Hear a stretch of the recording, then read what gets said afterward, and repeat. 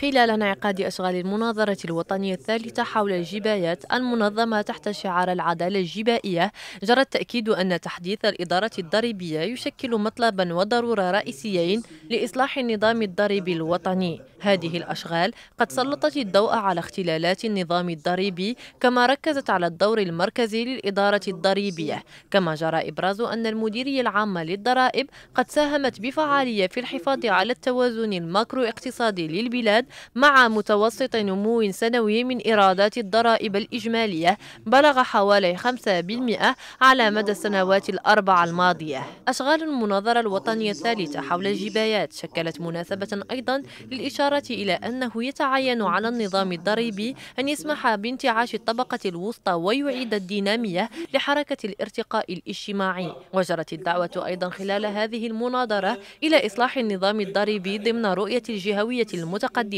من خلال وضع الأسس لنظام ضريبي قابل للتكيف مع الاحتياجات التنموية للجهات وتعزيز الالتقائية بين النظام الضريبي والمعايير والقواعد الدولية. هذه المناظرة المنظمة تحت الرعاية السامية لصاحب الجلالة الملك محمد السادس ستمكن من تحديد معالم نظام جبائي أحسن أداء وأكثر إنصافا وشفافية وتنافسية يقوم على وعاء ضريبي أوسع ومعدلات أقل ارتفاعا.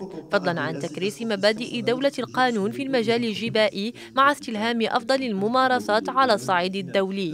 Sur l'IS, sur 10 ans et sur l'impôt sur les distributions, CL, si ça